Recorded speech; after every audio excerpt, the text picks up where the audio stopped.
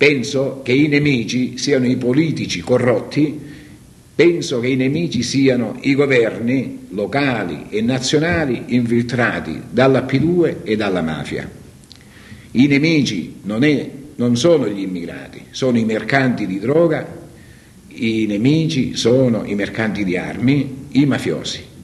È un grandissimo problema per tutti, per tutti, non si può andare avanti in questo modo, perché tutto quello che incassiamo sono per loro, non ci rimane più niente a noi.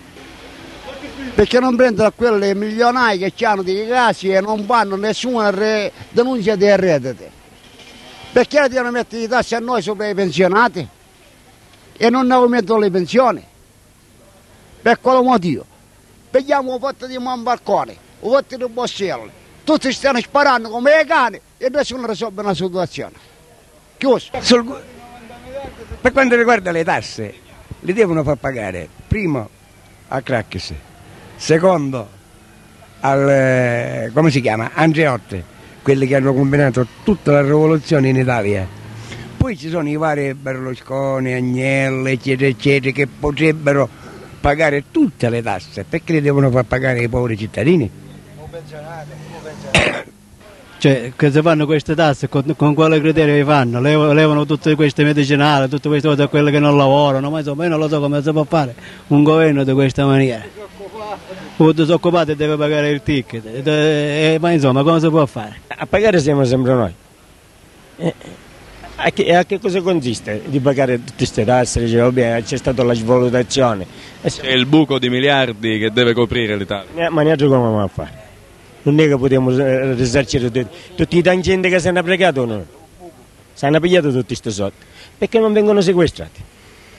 Eh, con tutti questi soldi. E allora e poi perché non vanno per esempio nei parrucchieri a prendere questi soldi? Perché ognuno che si va a fare un taglio di capelli paga dei 40 ai 60 mila lire. Va bene? Chi le paga queste tasse?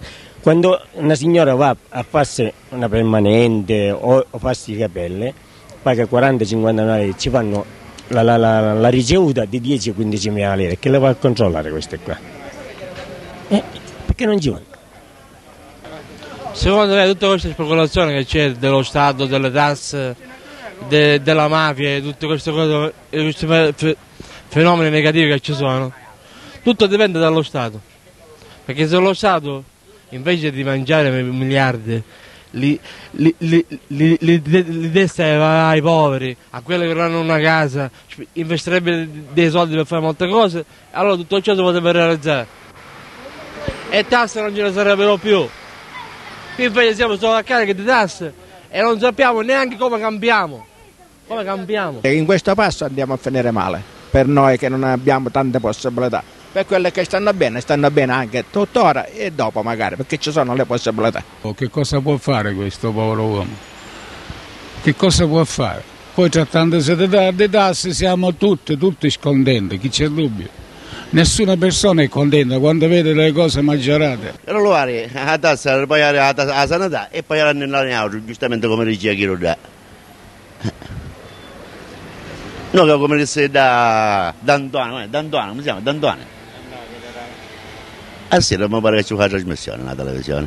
E che lo dà adesso? Lo amo, la tassa della salute, lo amo la tassa uh, sanitaria. A gente, eh, sta da paio un medico e via di seguito. Io non sono un economista naturalmente, ma è una cosa molto necessaria. Bisognerebbe che tutte le persone si rendessero conto della necessità dei sacrifici è finito il tempo dei furbi. Peccato che non ci hanno pensato prima.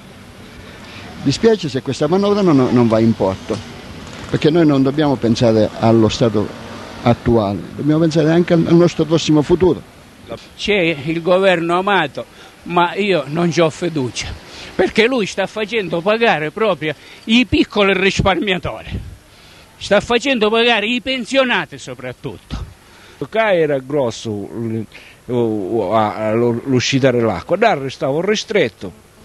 Certo che e si scagava, tutto questo è stato qui. Ma se ne pigliare probabilmente subito, perché casa si spaccia ancora, c'è un temporale come ieri, succede un macello. E dire che è stata sistemata non molto tempo fa la strada e nuovamente siamo punti a capo. Veramente i tecnici non seguono niente. E stanno a seguire il loro comune, che ne sa? Sì, è sistemata sì però ci voleva il controllo, di sotto a controllare in maniera che c'era, dove facillo. Cosa ne pensa la gente di questa cosa? Cosa ne pensa? Eh, mancanza di controllo.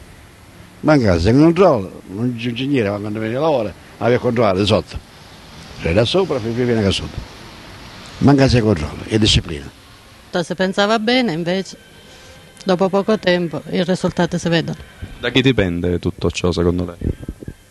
I lavori sicuramente li approva il comune, poi dipende dalle ditte e i materiali che le vengono dati, sicuramente. Secondo lei per quanto tempo ancora deve rimanere così via Ciomo? A questo non so rispondere io, dipende dal comune. Che dobbiamo pensare? Questo si, si doveva fare, si doveva fare tutto. Il responsabile, secondo me, proprio il responsabile è l'ingegnere, perché un ingegnere deve capire queste cose. Dunque gli ingegneri dovevano essere all'altezza di poter vedere il danno che c'era prima. Se questi ingegneri non sono all'altezza che se ne vanno a casa. Era qualcosa che a me faceva molto piacere perché avendo lavorato iniziato la mia carriera di archeologo qui e avendola praticamente completata alla direzione della scuola d'Atene per me veramente è stato un, un ponte fra l'Italia e la Grecia, ma questi rapporti sono antichissimi e addirittura risalgono al secondo millennio e non si sono mai interrotti fra Italia e Grecia. Professore, qual è il tema dell'incontro di oggi? Ma è la presentazione del volume eh, che ha fatto seguito a, a quel convegno che fu voluto dall'allora sindaco amico Chessari e che poi è stato portato avanti proprio nella funzione dal, dall'altro amico, dottor Arezzi, eh, avvocato Arezzi, sindaco attuale di Ragusa.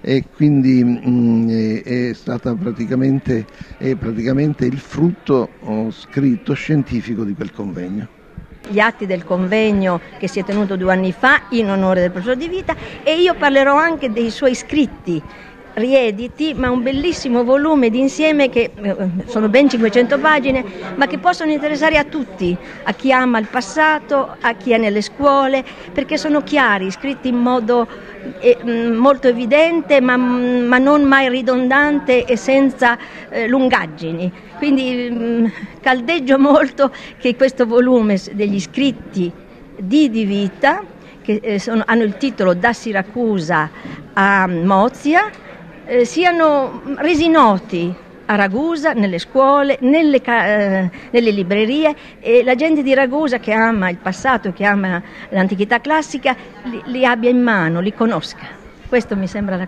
più, il messaggio che vorrei che venisse trasmesso da questa giornata odierna. Nel pomeriggio poi invece ci sarà la presentazione del grande, della grande scultura del cavaliere, eh, del, del, guerriero di, di, Castiglione e allora sarà un momento diverso al museo. Si pubblicava il famoso ormai volume eh, da Siracusa a Mozia. La cultura ha organizzato la presentazione degli atti è uno dei rari sindaci che si è davvero occupato di Chiaramonte in una maniera seria della cultura. E seconda cosa perché è la mia città natale, ho ancora interessi, amici e questo è il motivo per il quale sono qui. Ecco. Ma in questa occasione vorrei ricordare quello che il sindaco ha fatto per Chiaramonte, quello che raramente è stato in tutti questi anni io mi sono sempre tenuto in contatto con Chiaramonte anche perché è dal eh, 1955 al 60 sono stato proprio alla soprintendenza alle antichità di questa zona e qualcosa ho fatto anche per Ragusa, ma mh, volevo appunto dare questa testimonianza perché Chiaramonte ha preso veramente come lei dice, spessore culturale attraverso questo sindaco ed è questa la parte che mi riguarda maggiormente.